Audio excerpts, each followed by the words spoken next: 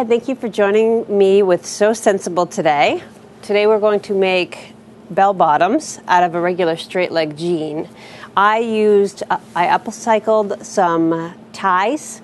I used silk ties because I just love the look and the color uh, that you that it offers. Okay, so the first thing you're going to do is you're going to take some ripped up jeans and you're going to salvage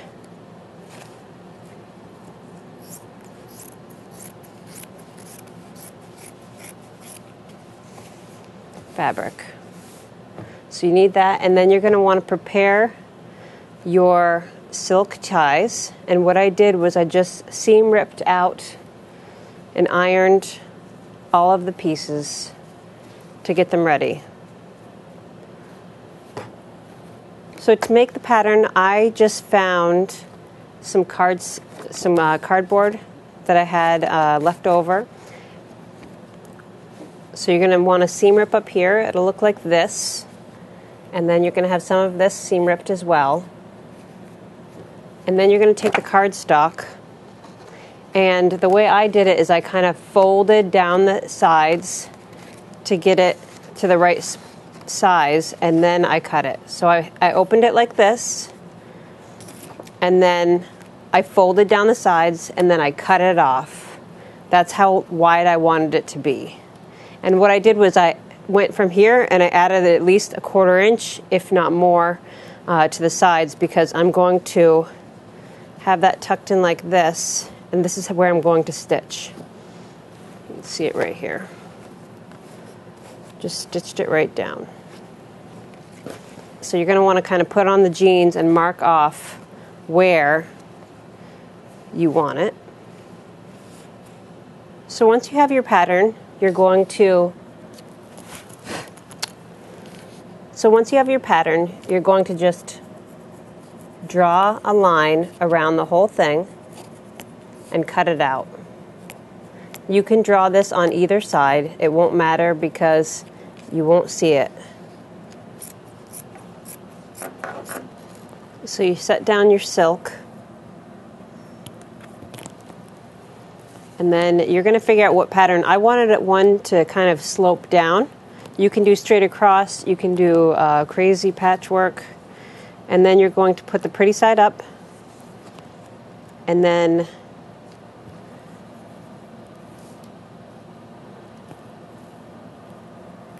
get them sandwiched together like this. And you're going to stitch right along here.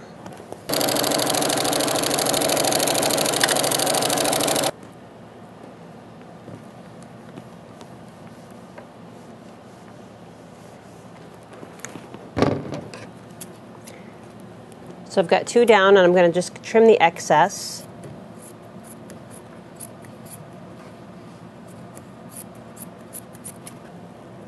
And I'm going to finish this edge off while I'm here.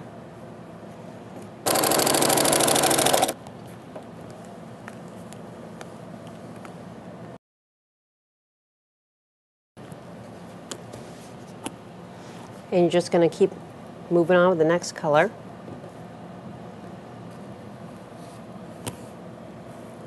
And if you're worried about it not carrying over, just check it.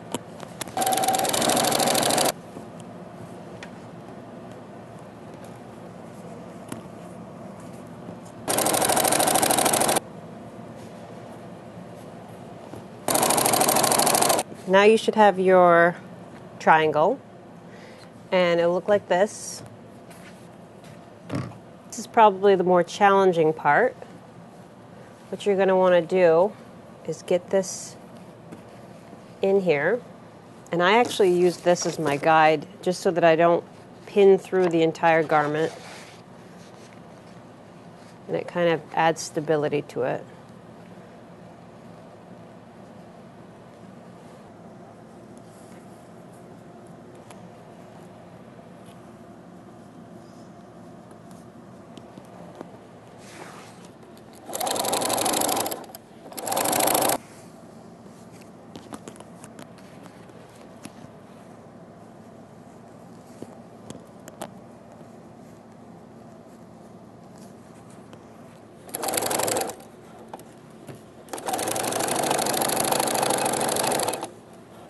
Okay, it will look something like this.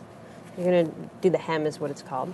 And uh, in order to do that, you can either get coordinating thread that looks like this uh, to match the rest of your jeans.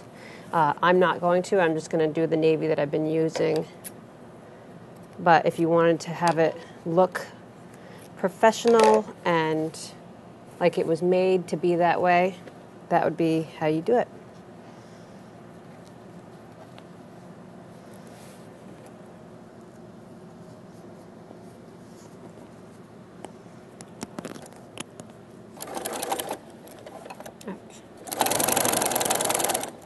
And there you have it some bell bottoms made out of old ties and a pair of jeans. Uh, I love bell bottoms and they're really hard to come by. The new fad is straight leg jeans, so these are so much fun to make. And I remember having these in high school. Uh, they're just so much fun. All right, thanks for joining me on Sew Scentsible.